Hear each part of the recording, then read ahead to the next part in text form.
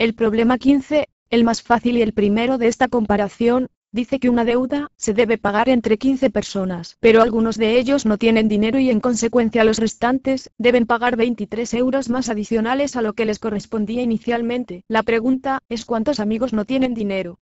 La solución depende de simbolizar los que no tienen dinero, que son X, y sabremos que 15 menos X, van a pagar lo inicial 1380 entre 15 más 23 euros. Entonces vamos a resolver una ecuación donde la cantidad de personas que restan multiplicada por la cantidad que deben pagar, es igual a la cantidad de dinero que se debía. Resolviendo la cantidad que está en el paréntesis, nos deja 115. La ecuación queda simplificada a multiplicar la cantidad de personas restantes por 115, que es la cantidad nueva que deben pagar agregando los 23 euros adicionales, esto igual a la cantidad adeudada. El 115 lo pasamos a dividir al lado derecho, sin necesidad de desarrollar nada adicional. Nos queda que 15 personas quitando, X nos da 12. Es lógico concluir que los que no pudieron pagar, fueron 3 personas.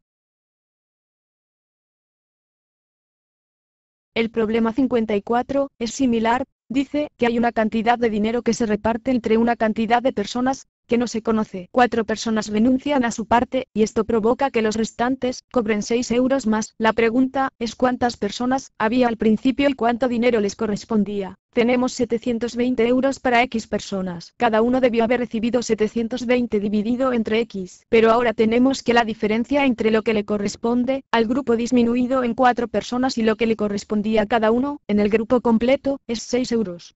Comenzamos con esta ecuación. Para despejarla, multiplicamos los denominadores, que contienen variable, en forma cruzada. Luego multiplicamos entre sí los denominadores. Y el resultado de multiplicar los denominadores, lo pasamos a multiplicar, al lado derecho de la ecuación. Ahora tenemos una ecuación que no tiene denominadores. Al simplificar el lado izquierdo, vemos que va a desaparecer el término con variable, en el lado derecho nos queda una expresión de segundo grado que se multiplicará por 6. Luego el 6 lo pasamos a dividir, al lado izquierdo, dejando las variables solas en el lado derecho. En esta nueva ecuación, vamos a dividir 2880 entre 6. Esto nos da 480, en el lado izquierdo. Luego completamos el trinomio cuadrado perfecto en el lado derecho, agregando 4 y también agregando 4 en el lado izquierdo, para conservar la igualdad. Luego factorizamos el lado derecho. Vamos a despejar esta nueva forma de la ecuación. Tomamos raíz cuadrada en ambos lados, en el lado izquierdo, nos queda 22 y en el derecho, desaparece el exponente del binomio. Luego,